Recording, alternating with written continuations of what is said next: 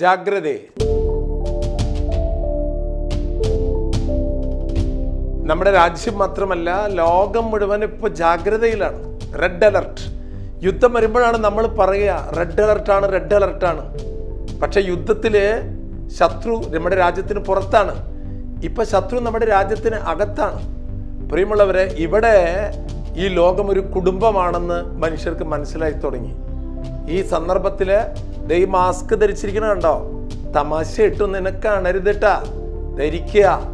എവിടെ പോകുമ്പോഴും ഈ മാസ്ക് ധരിക്കുക. സ്വന്തം രക്ഷയ്ക്ക് മാത്രമല്ല നാം മുഖേന മറ്റുള്ളവർക്ക് ഈ രോഗം പകർന്നു കൊടുക്കരുത്. ഇതാ സാനിറ്റൈസർ ഇതങ്ങോട്ട് എടുത്തിട്ട് തിരുമ്പുക. വൃത്തിയായിട്ട് ഈ കൊറോണ വൈറസിൽ നിന്ന് നമ്മൾ മുക്തരാകണം. ഇതെല്ലാം നമ്മൾ ചെയ്യുന്നത് നമ്മുടെ രക്ഷയ്ക്ക് മാത്രമല്ല ഈ ലോകത്തിന് ഈ മനുഷ്യകുലം ഉണ്ടാകണം പ്രിയമുള്ളവരെ. ഒരു ദിവസം ആയിരം പേര് മരിച്ചു വീഴുന്ന ഒരു ലോകത്താണ് നമ്മൾ താമസിക്കുന്നത്. പ്രിയമുള്ളവരെ സമൂഹത്തിനോട് നൽകുന്ന സർക്കാരിന്റെയോ രാജ്യത്തിന്റെയോ ലോകത്തിന്റെ നിർദ്ദേശങ്ങൾ തമാശയിട്ട് കണക്കാക്കരുത് കേട്ടാ അതെ കുറച്ചുള്ളോ ഈ ജീവിതം. ആയിരക്കണക്കിന് പേര് ഈ ലോകത്തുനിന്ന് കടന്നുപോയി.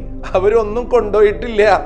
ഇവിടെ ധനികനാണോ? വലിയ അധികാരിയാണോ? വലിയ ഉന്നതനാണോ? ഇവിടെ ഒന്നും കൊറോണയ്ക്കൊരു വ്യത്യാസം ഇല്ല കേട്ടാ അപ്പൊ അതുകൊണ്ട് എല്ലാവരും ഒന്ന് മനസ്സ് വെക്കുക.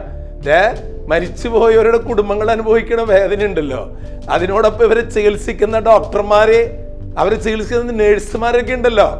അവർക്ക് വേണ്ടിയിട്ടൊന്ന് പ്രാർത്ഥിക്കുക. പ്രാർത്ഥിച്ചാൽ മാത്രം പോരാ. പ്രവർത്തിക്കണം. നമ്മൾ ഈ പറയുന്ന കാര്യങ്ങൾ അനുസരിക്കണം. നമ്മൾ ദൈവത്തോട് പ്രാർത്ഥിക്കുന്നത് എന്താ? ഈ ലോകത്തിലെ എല്ലാ മനുഷ്യരും സന്തോഷത്തോടെ ഇരിക്കാൻ.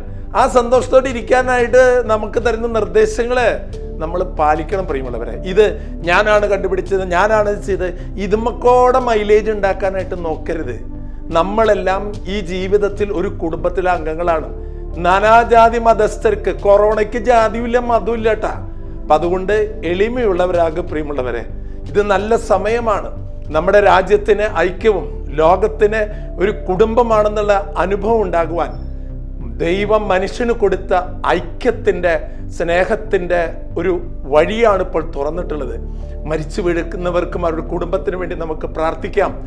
ഇനി നമ്മുടെ സമൂഹത്തിൽ ഈ മരണങ്ങൾ ഈ കൊലയാളി നമ്മളെ ജീവിതത്തെ വന്ന് പിടിച്ച് അമർത്തുന്നതിന് മുൻപ് തരുന്ന നിർദ്ദേശങ്ങൾ സർക്കാരല്ല ആരോഗ്യ വകുപ്പല്ല ലോകം തരുന്ന മുന്നറിയിപ്പുകൾ സ്വീകരിക്കാൻ എല്ലാറ്റിലുപരി ദൈവം നമുക്ക് നൽകുന്ന മുന്നറിയിപ്പ് അഹങ്കാരം താഴെ വയ്ക്കാൻ ഈ സന്ദർഭം പ്രാർത്ഥിക്കാം നമുക്ക് പ്രവർത്തിക്കാം.